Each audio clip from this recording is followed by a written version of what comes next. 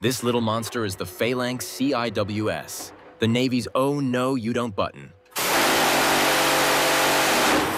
It's a 20 millimeter M61 Vulcan cannon someone slapped onto a robot and said, Hey, buddy, protect the whole ship.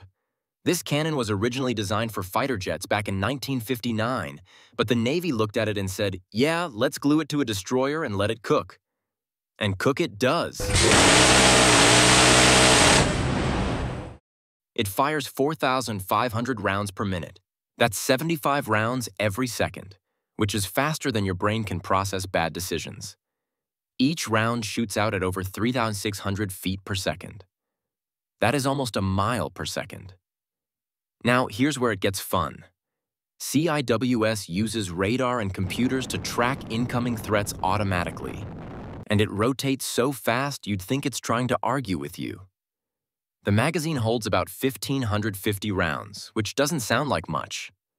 Until you realize this thing empties it faster than a kid finishing Halloween candy. And remember, this is the last line of defense. If every other system on the ship is busy or panicking, the CIWS steps in like the friend who says, All right, everybody move, I got this.